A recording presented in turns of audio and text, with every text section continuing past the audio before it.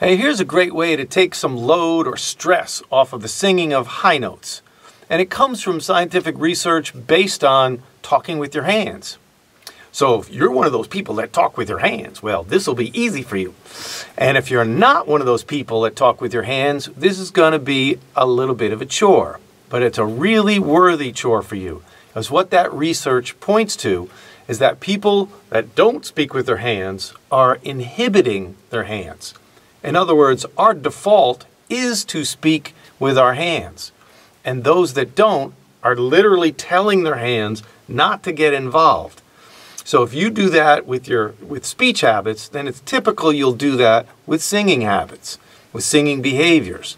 So if you're uh, somebody keeps your hands locked in your pocket as you're trying to sing high notes, or worse yet, gripping the mic stand and the mic at the same time as you're singing high notes, this will be a benefit to you. It's going to seem goofy at first, but everything I do is goofy at first. This works. So we're going to do this. I want you to take a hand and just throw it up in the air. Uh. Throw it right up like you're on a roller coaster. And woo, as like that. Uh, and then slowly step down. Ah, ooh.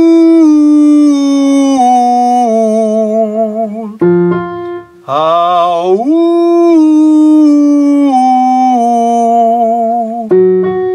Ah, ooh. All right, now higher voices can join in. Ah, ooh.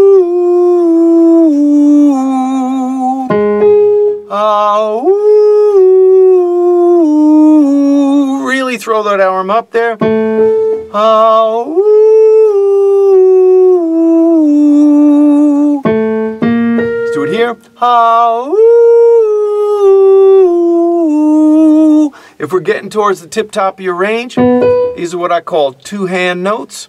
Oh, oh, What's going on inside is your vocal fold is stretching, but what's going on in your brain is it's giving you permission. If you give yourself permission to throw those arms up, it's going to free up the whole body in the process. You will feel lighter singing these notes. It's a really great way to approach the stretch of singing high notes. Oh, really get them up there. I'll do one more. Oh,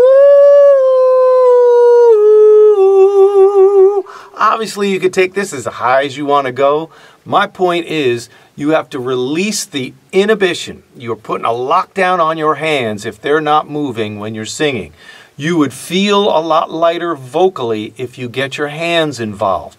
If you don't want to do this during a performance, then just make sure you do it when warming up and definitely when practicing songs.